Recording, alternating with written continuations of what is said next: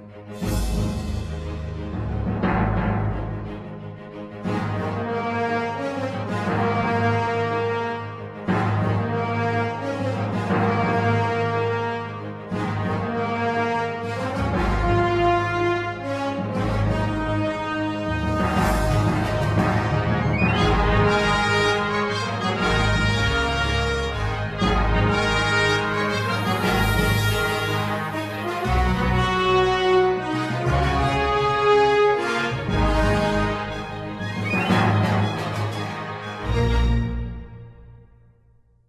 مشاهدينا الكرام أسعد الله مساءكم بكل خير. مستمرون معكم في رحلة عمر ذكريات وخواطر مع المناضل اللواء خالد أبو بكر بارس.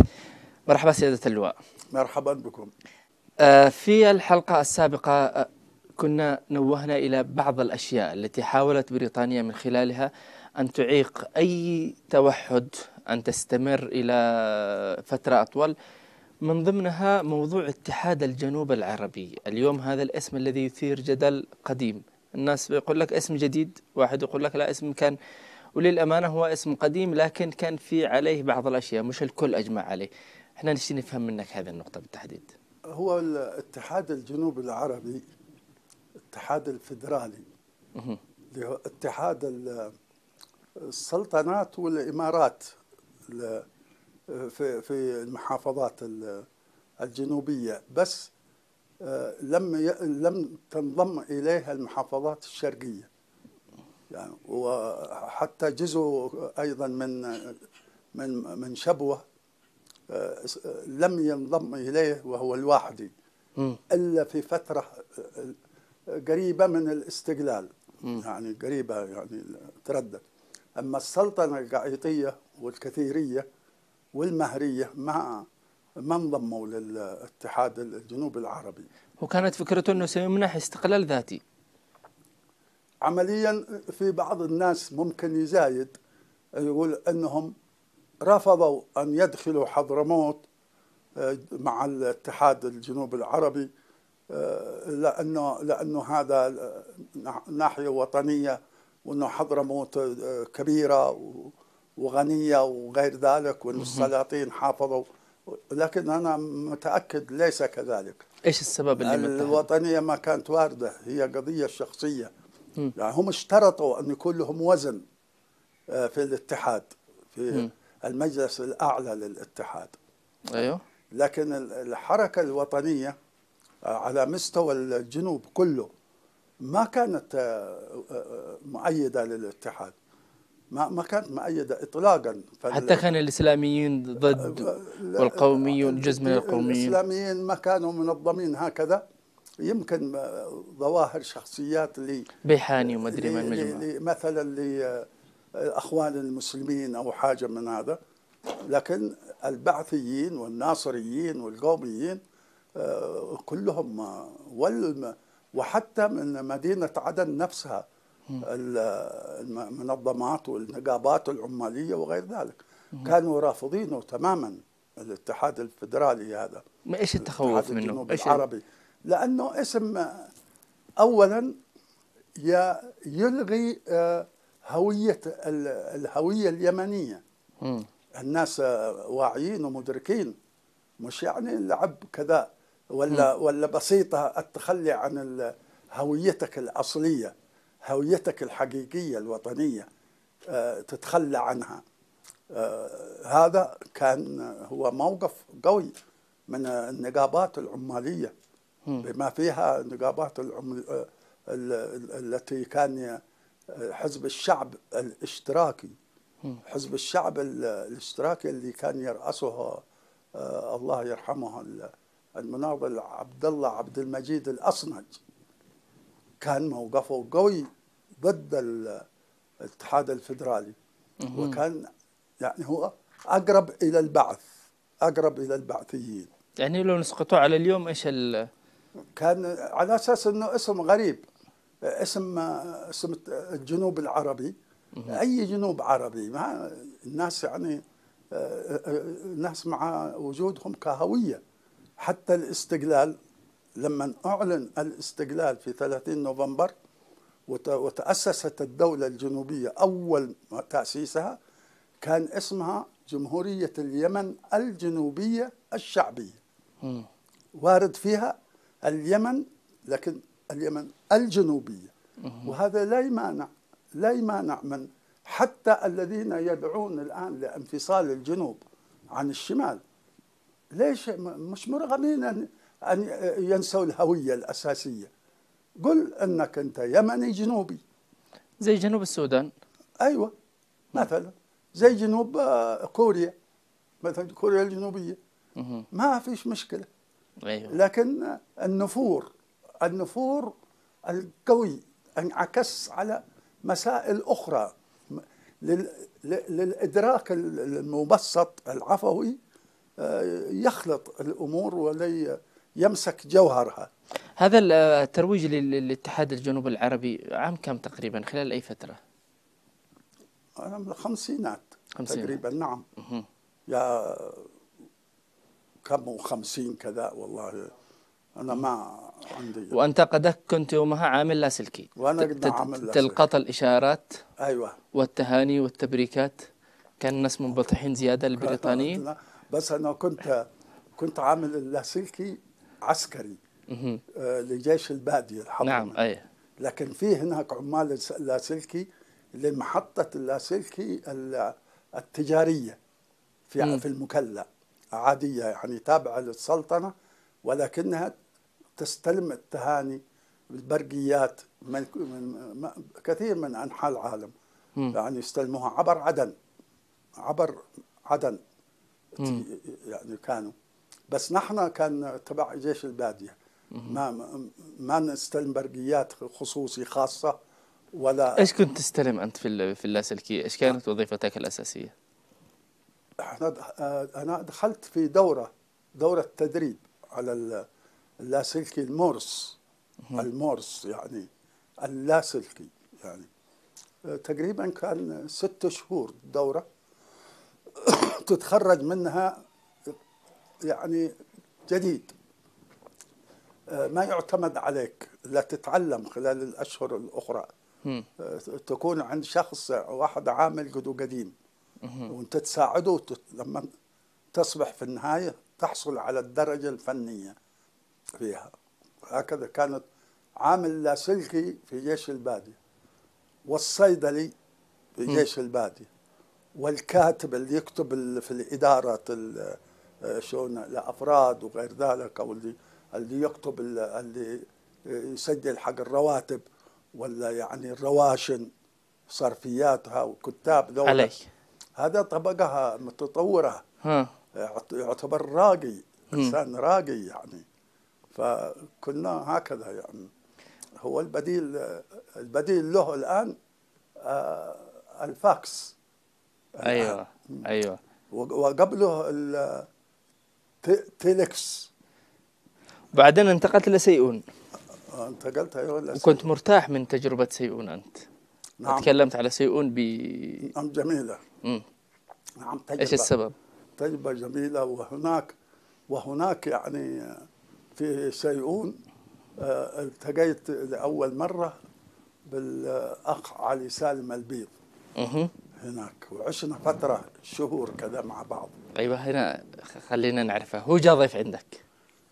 هو- أنا قبله قد قدني أعرف آه، المدينة وقد استطعت أحصل على شقة صغيرة إيجار.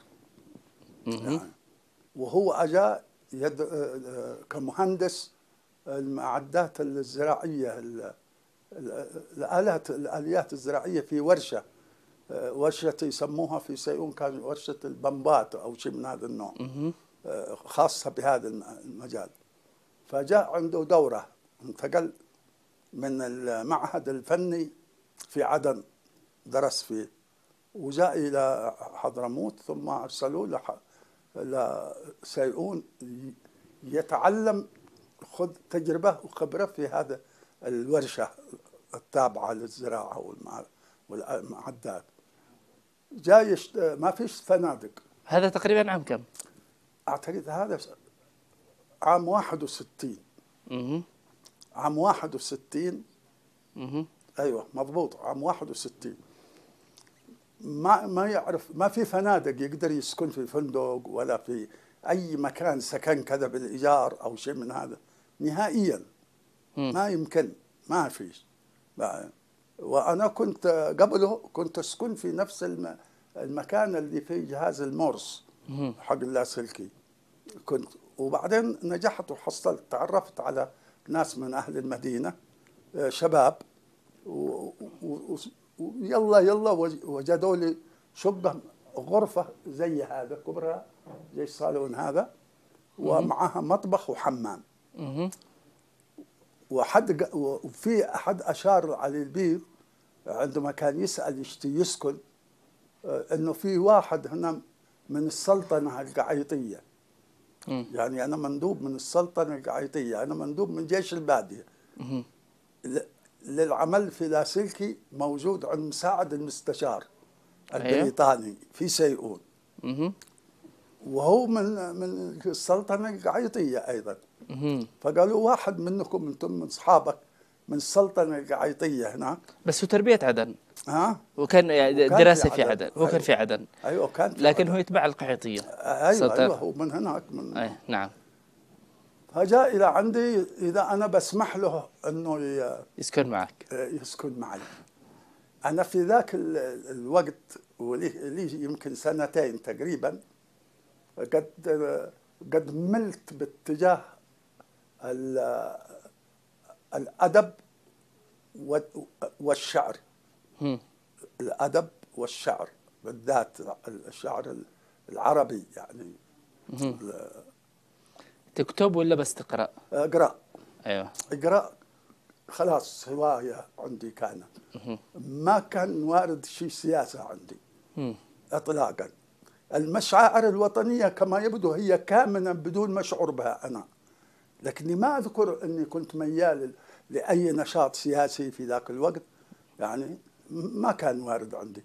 كنت تعرفت على شباب ما كان عندهم هم علاقة بالجانب. السياسي اثنين اللي نحن أنا وهم كنا في المكلا قبل ما أروح إلى سيئون كنا نروح المكتبة السلطانية في المكلا هناك ونقرأ يعني الأدب والشعر في ذلك الوقت وأنا في المكلا قبل ما أروح إلى سيئون. آه، ندرس ندرس يعني نقرأ آه، بعد العمل. أنا وعبد الله علي بسودان الله يعطيه العافية الآن هو في جدة. والأخ صالح آه، صالح محمد الديني. يعني يعني الله يرحمه هو هذول كانوا في جيش البادية ولا تعرفت عليهم في المكلا؟ لا عبد الله باسودان كان يعمل كاتب في المستشارية البريطانية. كاتب توظف بدرجة صغيرة كذا عادوا شباب في سني هو أنا يمكن هو أكبر مني بسنة كذا ولا حاجة والثاني الأخ الديني آه، صالح عبد الله الله يرحمه آه، كان موظف برضه الاثنين درسوا الثانوية آه، تقريبا أو الإعدادي آه، وعندهم اللغة الإنجليزية مهم. وأنا لف من اللغة الإنجليزية بس آه، ارتجالي. و اللي تمشيك مع الناس مشان المهم أنا هناك في اللاسلكي اللاسلكي كله بال في برقيات المستشار والمستشارين وحق المندوب السامي وغير ذلك كلها بالإنجليزي مم. والمهمة منها بالشفرة. بالشفرة أيضا فكنا نقرأ وكنا ثلاثتنا آه، نميل للشعر والأدب وهذا. عندما جاء علي البيض أنا كنت بهذا الشكل. كان عندي كتب كلها من حق من من كتب آه، ال- الأدب والشعر وبالذات ابا القاسم الشابي. وإيليا أبو ماضي. وجبران خليل جبران وطه حسين أيوه. وخالد محمد خالد وكثيرين. هذه الكتب عندي وأنا مولع بها. والرجال ما له دخل كان. علي البيض كتبه ثانية. هو قد قد عضو في حركة القوميين العرب. أيوه. من عدن. لقطوه هناك. دمجوه معاهم. فجاي يحاول يقنعني إنه يشتي ولو مؤقتا لما يحصل سكن ويسكن أنا وهو نتقاسم ال- الإيجار. أيوه. أنا أنا قلت في نفسي أنا اشتي اتعرف على ناس جدد بهذا الشكل؟ قلت له شوف أنا أقبل أنا بقبل بس في شروط عندي. قال إيش؟ قلت له شوف عندي برنامج أنا. برنامج حقي للقراءة. بنحدد مواعيد للقراءة الواحد سكتة ما في كلام. نخلص يجي فترة فيها نتناقش ونضحك وكل شيء يعني في هذا. الراديو ما نفكه مزعج بالموسيقى ولا شيء من هذا. وقت القراءة هذا واحدة ثانيا أنا قلت له عاش لوحدي وأطبخ لنفسي. هو كان صريح معي. قال لي بنضبط في كل الأمور لكن إيش مطلوب من إنك آه، أنت تطبخ لنفسك؟ قلت له مشان يوم علي ويوم عليك للطباخة. يعني يوم الصبح ي- يسمع الآن الح- أيوة. الحديث. ربما يكون هو نسيه لكن بيذكره كويس بالتفصيل بعدين. أصغر منك بكم؟ هو لا لا لا هو أكبرني مني أكبر. بسنة. كمان. لكنه لم يعترف بهذا. ما ما مقاوم رافضه قال لي أنا بلتزم بالمواعيد القراءة وكل شيء والهدوء كل حاجة. لكن شوف الطباخه أنا ما أعرف. يعني قلت له كيف ما تعرف؟ خلاص أنا بطبخ القوي الغداء مثلا. وأنت عليك الفطور والعشاء. قال لي أقول لك والله عمري ما صلحت حاجة حتى الشاهي. قلت له آه أنت أنت يمكن آه، آه، بيئة غير بيئتك أختك وكذا. أختك أكبر منك. آه، وأنت معتمد على اخواتك و- ويدلعوك. والله قلت له وزعل. إيش قال انه أخواتي أنا ما قلت له يا ال- الإنسان اللي ما عاش لوحده أنت عايش مع أهلك ويطبخوا لك. أما أنا ما معي حد أصلا. ورجعت أطبخ أنا. قال لي خلاص أنا بديل بجيب الحاجات من السوق. أي حاجة من المقاهي من قصار أي شيء خضرة كله كله أنا بجيبه. وأنت عليك الطباخة. قلت وافقت له على ذا قلت معانا الصحون الغسل. قلنا أنا اشتي اشتي أحد يسكن معي. سكننا فترة ما التزم ما قدرنا. أحيانا تأخر أنا في العمل وأجيه وهو قد خلص يشتي غداء ما فيش مطاعم يروح يدور من دري إيش من مقهى ولا ده يحصل شيء من هذا ال- اضطرينا نجيب واحدة عجوزة آه، مسكينة يعني نجيبها تطبخ لنا الغداء. بس. والفطور أنا والعشاء أنا اطبخ وهو عليه ينظف الصحون. يكنس المطبخ ولا. أيوه. أيوه. استمرينا على كذا. وانتقلنا إلى بيت أفضل بعدين في حوش. واستمرينا على برنامجنا هذا. سيادة اللواء هنا أنا بقاطعك وبنكمل قصة آه، الرئيس علي سالم البيض معك في تلك الفترة ونتعرف على الكثير من شخ... من شخصية آه، الرجل وبالإضافة إلى محاور أخرى لكن نستأذنك بفاصل قصير. مشاهدينا الكرام إذا فاصل من الإعلان ومن ثم نعود.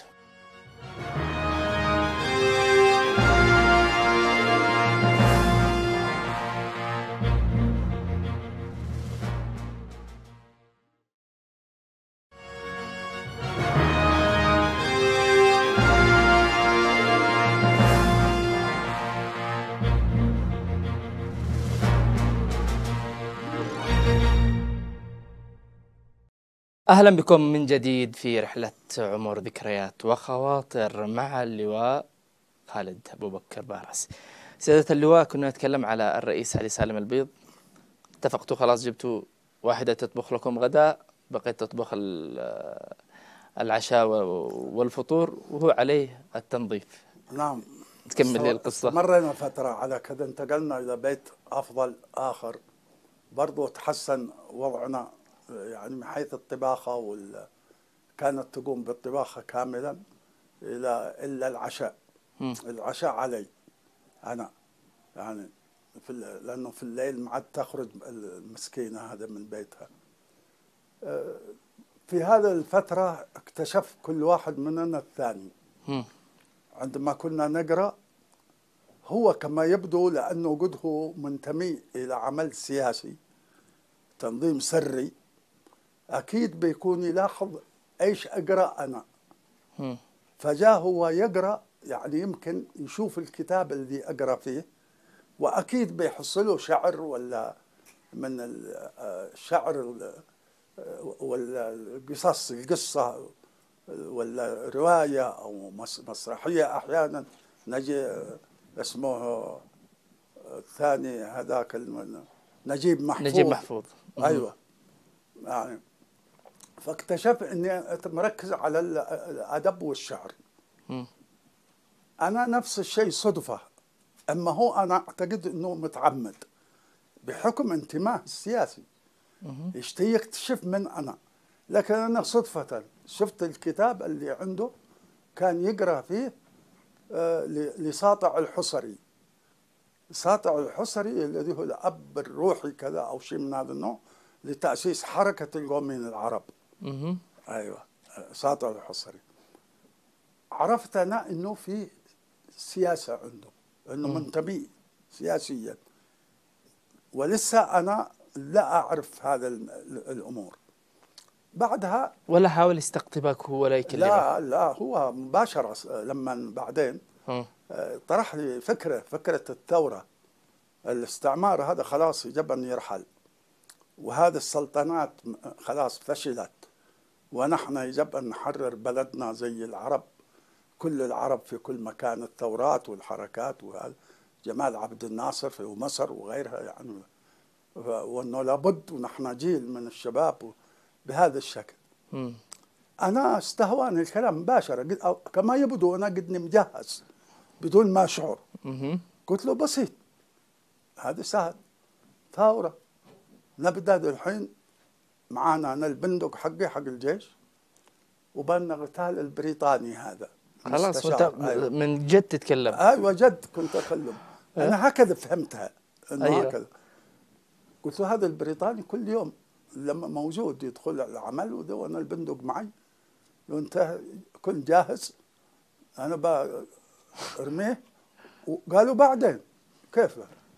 قلت له بعدين بنهرب من هنا. وبنروح حجر. إيش على جبال عندي هناك؟ قلت له ويران وجبال وأشياء. والله ما حد يقدر. يوصل. قالوا إيش الفائده الحين؟ يعني ما عطلنا هذا بس قتلنا واحد وهربنا وبعدين قلت له وبعدين برضو بنلقي غزوة في مكان ثاني. قال لي اسمع اسمع مني الحين بنتكلم. بكلمك بالكلام. الثورة ما هي كذا.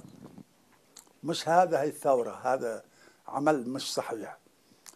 الثورة عمل سياسي لابد أنه نقنع الناس نوسع فكرة الثورة والسياسة نوسعها على مستوى المثقفين والشباب وخريج الثانوية وغير ذلك. يعني ونأسس عمل سري منظمات سرية من أحسن الشباب. وفي الجيش عندك يعني خلايا داخل الجيش البادية من شخصيات يعني وطنيين وهذا. وهنا نبدأ بهذا الشكل. هنا الثورة تكون. آه. هذا كان هو بصراحة له الفضل في في أن يفتح مداركي ويثير مشاعري الحقيقية الكامنة عندي. اللي اكتشفت إنها كامنة فعلا لأني انطلقت بعدها.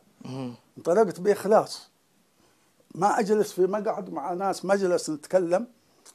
مع سواء كان عسكري ولا مدني ولا الا م- ال- من خلال حديث فلان وفلان من منهم مرشح أن ينضم. إلى تنظيمنا؟ من خلال حديثه وكلامه. أركز أركز على الناس الموجودين شباب في سني أكبر مني بشوي مثلا وأشعر هذا هذا فلان مهيأ. فلان قول في نفسي أنا أقول. هذا مهيأ خلاص. أربط معه صداقة شوي علاقه كذا.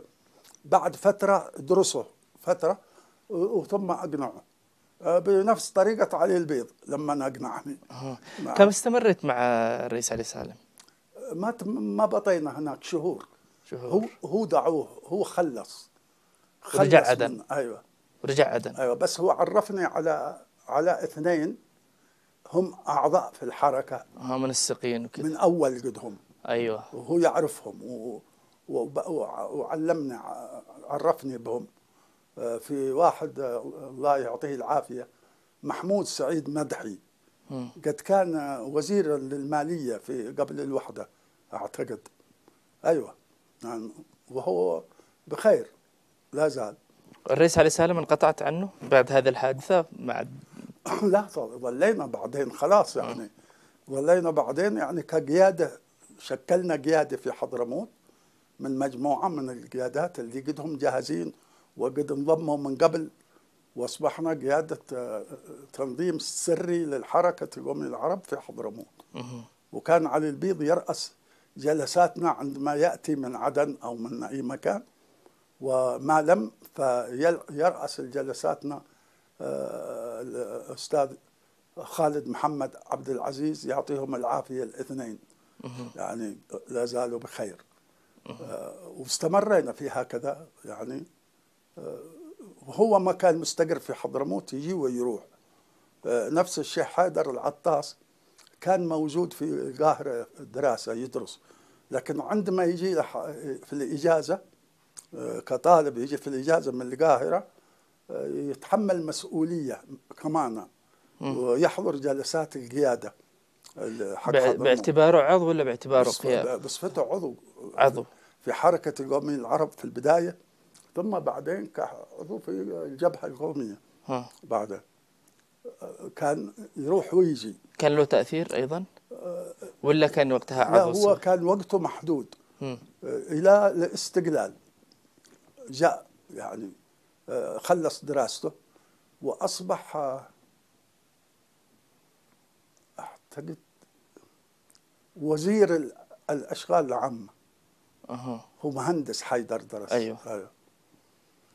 هكذا كانت كانت العلاقات الأخوية برضه قوية مم. جدا يعني كنا نعتز ببعضنا البعض عندما نشعر إنه فلان هذا عضو قيادي ولا عضو عادي وهو شخص مهم وسمعته ممتازه نعتز فيه ونقدمه علينا. تحمل المسؤولية ما كان حد يعمل من أجلها نهائيا. ما ما كان وارد أن تصبح أنت المسؤول. هذا حمل ثقيل مخيف.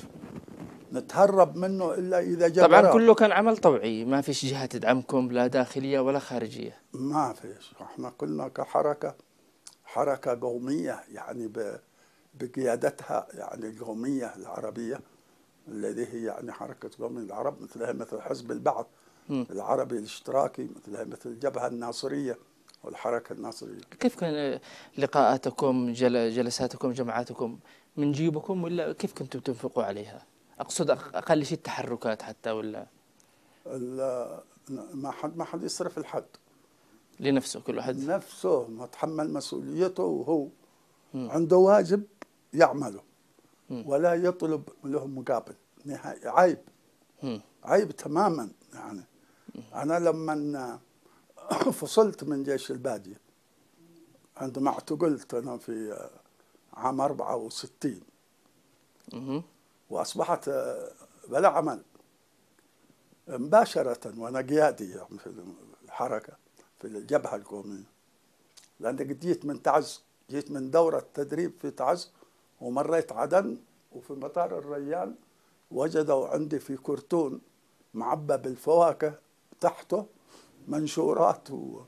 وتعميمات سرية حق الجبهه القومية. اللي كان تخبيه في السقف هو نفس الكرتون ولا كرتون ثاني؟ لا لا كرتون. لا لا مش حق السا مش حق عبد الرحمن الحداد.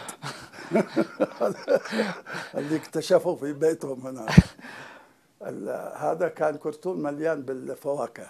يعني من عدن جبته معي. وحطيت المنشورات تحت. وطبقة فوقه. ما فكرت إنه صاحب الجمارك ال- بيفتش. اللي في المكلب يفتش لا. ومسألة مضحكة. لماذا اختارني أنا؟ صاحب الجمارك أعتقد أيوة توفى. ما مش متأكد تماما إنه ما هو. هي حاجة تضحك. بعدين قال لي بها. بعد ما حبسونا وحققوا معي حوالي 15 يوم. في الشرطة. وبعد فترة أنا كنت كنت أقول له بعد ما حصل المنشورات نكب الخضار ودق على هذا آه، على الطبل الطبلة ده. سمعها جوفة. فك حصل المنشورات ده. كان بيخبي. لو لكن الناس اللي كانوا يقولوا إيش إيش؟ إيش معه؟ إيش معه؟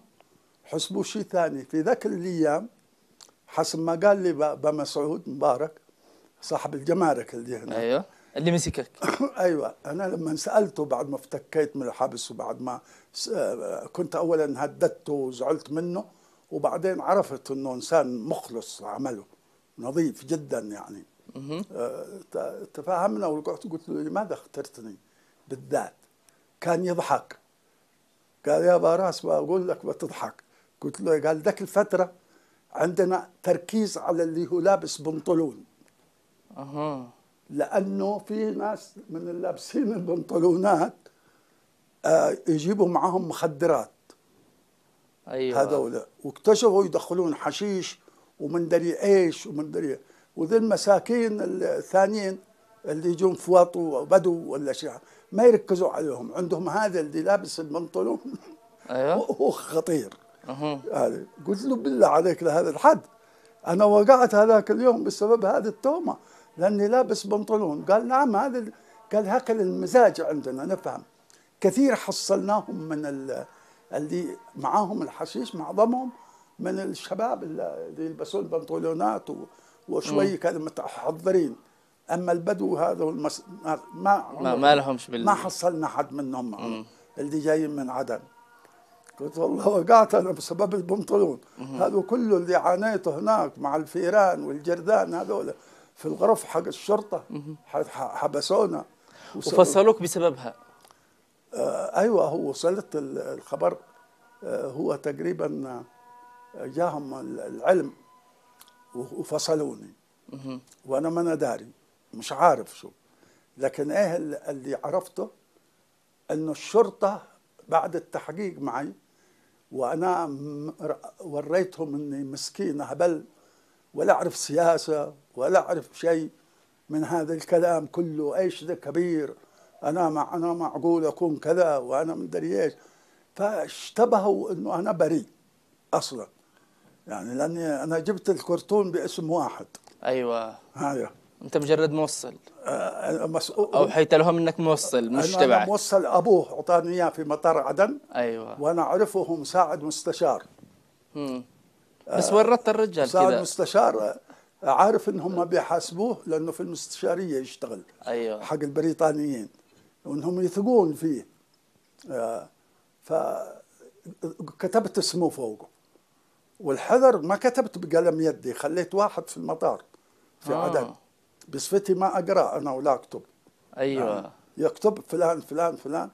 ما اشتي أذكر اسمه لأنه قالوا زعل علي ذاك الأيام يعني ليش تعمل ليش تجيب هذا باسمه؟ وهو موجود. الله يعطيه العافية. يعني ارسلوا طلب من جيش البادية. الجندي أول مدري رقيب آه، خالد أبو بكر باراس. يعني عندكم في الجيش. آه، القبض عليه لسبب سياسي لأنه نشرت صحيفة الطليعة في المكلل صاحبها الله يعطيه يحفظ الله يرحمه أحمد عوض وزير مم. آه، نشروه في بالعنوان فوق الأول ال- القبض على خالد باراس آه، في المطار الريان بمنشورات الجبهة ومدري إيش يعني آه. وأنا عذري لما اقنعت الشرطة واللي, هم ميالين للسلطنة مقربين لها يعني بما لهم مصلحة في السلطنة. كانوا أسئلتهم صعبة. يعني كنت أقنعتهم إنه شوفوا هذا المصيبه حطوها لي في الكرتون علشان يقولوا للسلطان هنا. يقولوا له شوف الجبهة عندك. شوف جبهة القومية موجودة عندك كده في حضرموت. انتبه لنفسك منهم. يعني آه، شد على الناس يعني وكذا يخوفونه. وهي ماشي لها وجود بس بهذا الشكل الناس بيقولوا موجوده هذه الجبهة. قلت لهم فين هالجبهة طبعا كانت المنشورات توزع على أعضائكم فقط. لا في في هذاك التعميمات على الأعضاء.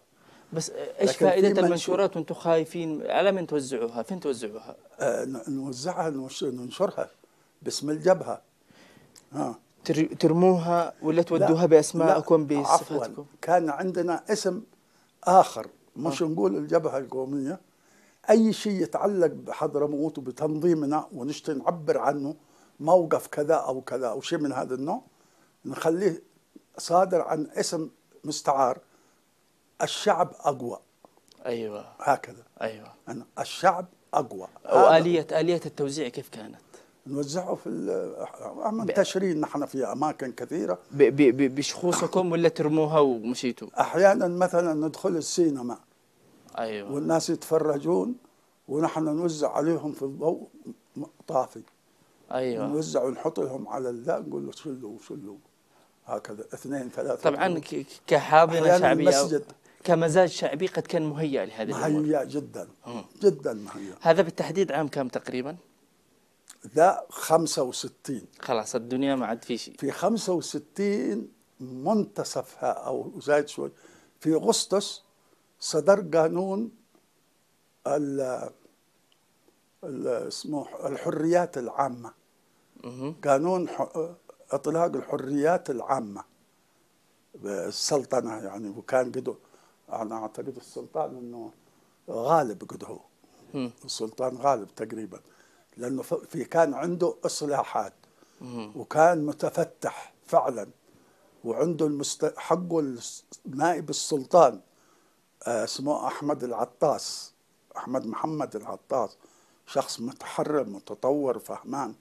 يعني هو خال حيدر العطاس خاله يعني هذا كان ين- ينصحه فعلا بأنه يفتح مجال للعمل السياسي ولا بد من توجيه النشاط السياسي يعني لمصلحة ثبات السلطنة والعمل الوطني ومن ذلك. بس جاءوا متأخرين.